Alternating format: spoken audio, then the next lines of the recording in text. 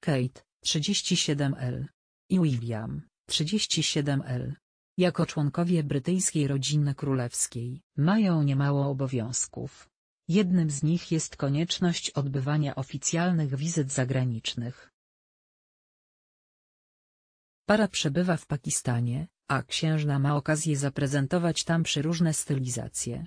Kate i William przebywają z wizytą w Pakistanie. Ze względu na zagrożenia, które mogą na nich tam czyhać, zdecydowano o tym, że nie będą towarzyszyły im dzieci. Reklama małżonkowie w południowej Azji mają mało czasu na odpoczynek, a ich harmonogram dnia jest mocno napięty. Ponadto każde spotkanie ma nieco inny charakter i wymaga różnego stroju. Z tego względu księżna w krótkim okresie przebiera się kilka razy. Ostatnio zaprezentowała parę kreacji. W szkole w Islamabadzie mogliśmy ją oglądać w niebieskiej stylizacji, a na spotkaniu z pakistańskim premierem w Zielonej Górze i jasnych spodniach. Z kolei na wieczorne wyjście, księżna postawiła na długą, błyszczącą suknię w odcieniach butelkowej zieleni.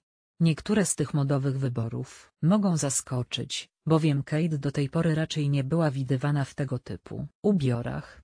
Który z nich spodobał Wam się najbardziej? Zobacz więcej materiałów